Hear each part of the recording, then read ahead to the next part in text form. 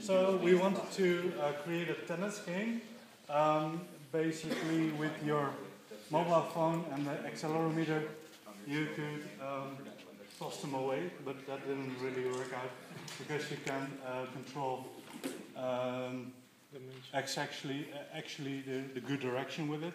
So we wanted to make it flip uh, and lift with a, a kick when you do that.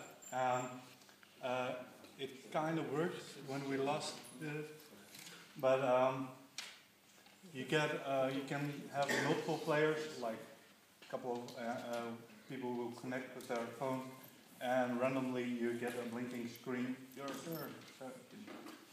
So, that's it. No need to connect. Yeah. All right.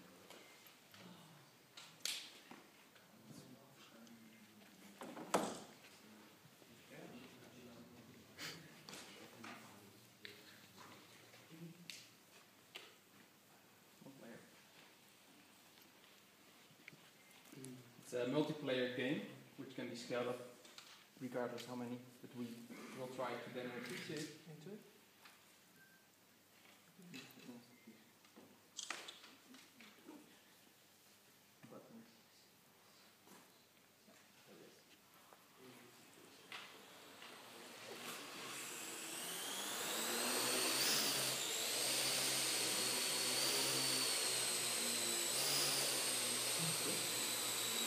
Now we try to implement the concept of gravity. So I kick it up with your thumb, it goes up in a certain direction.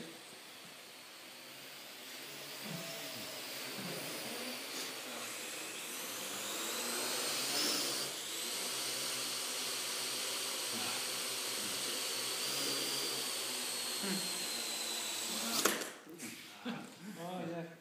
Sorry. The the turns are Think the turns are turn based, we we we're able to have two turns in one go.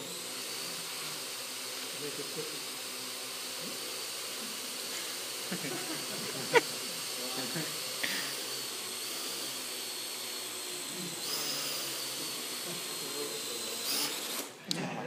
The thing is, I think the, the, the, the, the speed which you can which you can do.